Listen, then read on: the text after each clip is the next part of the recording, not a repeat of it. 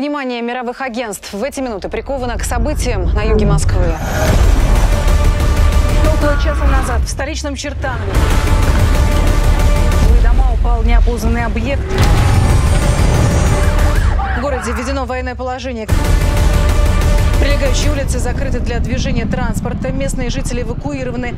Тем не менее, многие отказались уходить. Я напомню, жертвами инцидента стали 232 человека. Десятки числятся пропавшими без вести. В больницах остаются более 500 раненых. Мне не нравится то, что происходит.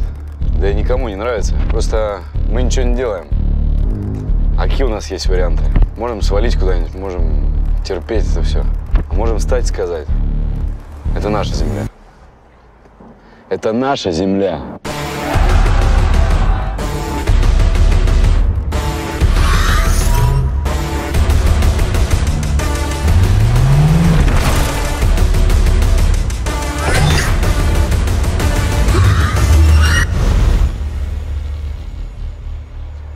У меня все.